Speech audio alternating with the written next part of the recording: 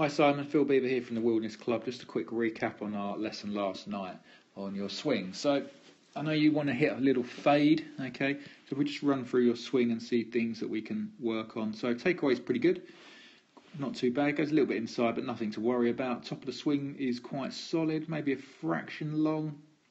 When you grip down the club, Simon, like an inch, because uh, the pad of your glove was on top of the grip that'll just shorten your swing, okay? So if we look here on the right of Jordan Spieth, okay, we'll see that his takeaway is a little bit better. We can see his hand, the club head is staying outside of his hands, and then he just hinges and it goes through his right forearm. So that's sort of textbook, but we can leave yours alone at the moment. Get to the top of his swing, you can see it's a tiny bit shorter, okay? It's pretty much the same sort of line, so left arm's good, uh, right elbow solid, same as yours, quite nice we look at yours on the way down, Simon, as we start to come down. For me, the shaft is not too bad. The shaft's coming down on sort of a fade line. I mean, I would love to see the shaft maybe a fraction shallower, so maybe sort of there. Sorry, a bit more that way. If we look at Jordan's coming down now, he hits a fade, so this is why I've used him for you. We can see he's a lot more active with the lower half. Okay, that's really starting to work quite hard, and you can see that shaft is a little bit shallower like I've said there, and that's purely because he's actually rotating his lower half and his chest. Okay, um, and we can see with you your bottom half and chest isn't really turning, which is why the shaft is fractionally steep. If we carry on with you, we see now that you're starting to what we call release the lag, and we can also see your club head is the wrong side of the golf ball. We can see it's on the right hand side, so you're attacking the ball now this angle left, and you're obviously putting your left to right spin on it. So if we get rid of all them lines, you can see there your club head is definitely to the right of the ball. If we look at Jordan's coming down into impact, we can see it's always left of the ball. Okay. So that's the one thing I wanted to change really was try and get you a little bit shallower into the back of the ball. And because your club head is obviously working left, keep an eye now on your hands, Simon. You're going to see your hands are going to disappear left very, very quickly. So let's have a look. One, two, three, four, five, six, seven, eight frames and your hands have gone.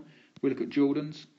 One, so one, two, three, three, four, five, six, seven, eight, nine, ten, eleven, twelve, thirteen, fourteen.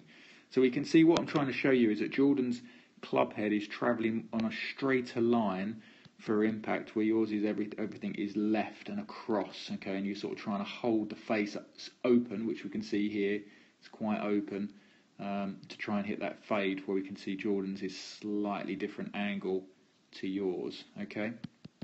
So how do we fix that, Simon? Right.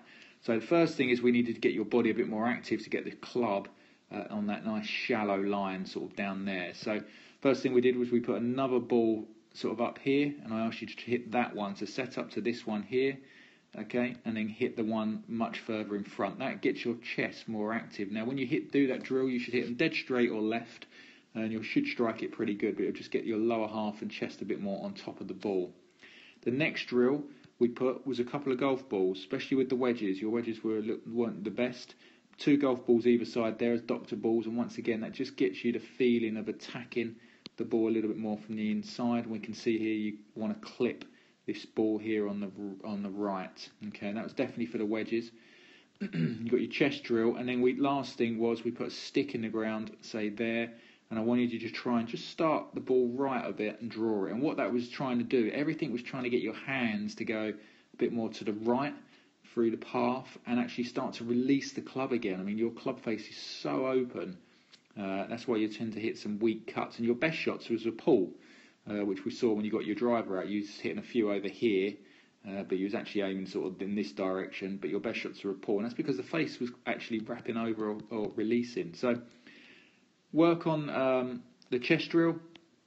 Work on these balls for me. Okay, that would fix the wedges definitely, and then go back to hitting some full shots with the stick and just trying to draw the ball around the stick again until uh, the shot doesn't need to do that anymore. Otherwise, pretty good, Simon, but just work on them things and you should see a massive difference and look forward to